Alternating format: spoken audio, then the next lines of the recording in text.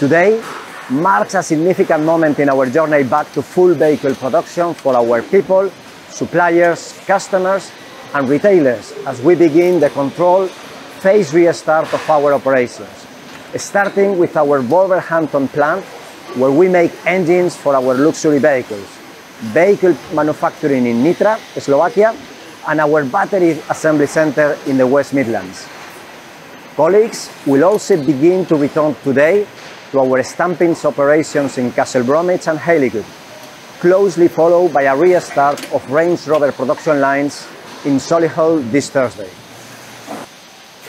Wolverhampton is one of the first sites to restart production because it's where we build all of the engines for JLR's vehicles ahead of vehicle production taking place.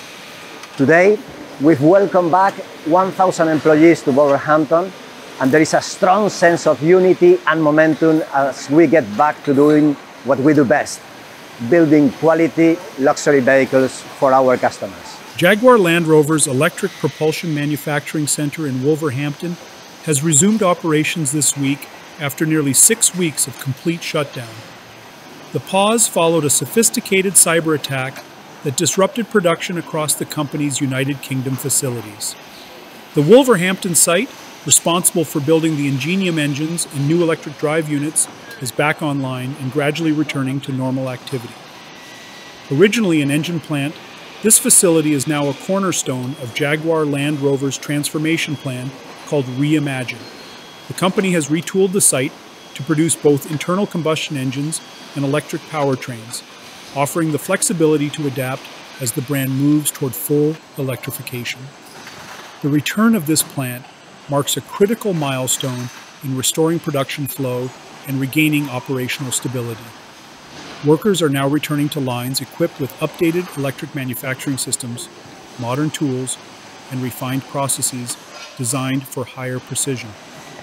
The cyber attack, first identified in late August, forced Jaguar Land Rover to temporarily halt operations across several UK plants.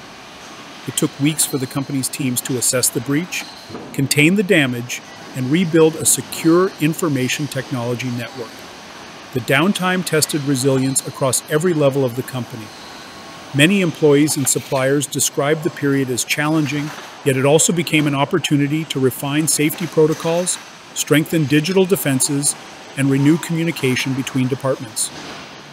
Support from the United Kingdom government combined with accelerated payments to suppliers, helped stabilize the situation and minimize disruptions across the broader automotive ecosystem.